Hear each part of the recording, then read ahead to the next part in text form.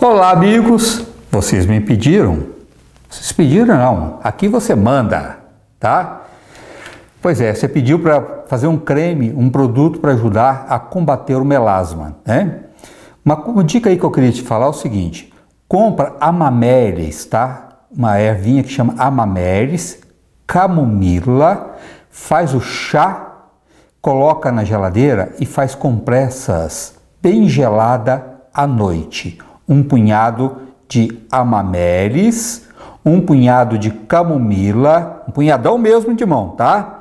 Num litro de água fervente, deixa levantar a fervura, depois deixa esfriar, vai coar e deixar na geladeira e fazer compressas bem gelada à noite e vai usar esse cremezinho que eu vou te ensinar aí para você passar todos os dias, de preferência até três vezes por dia se der, tá? Se não der, você passa de manhã e à noite, tá? Que vai ajudar muito. Olha, eu tenho aqui um pote com 250 gramas de creme de aloe vera com vitamina E, puro, tá?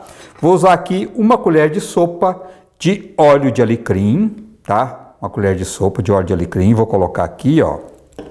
Uma colher de sopa de óleo de camomila, tem seu óleo essencial, tá, gente? Não vai comprando qualquer óleo, não. E você vai misturar bem isso aqui, ó.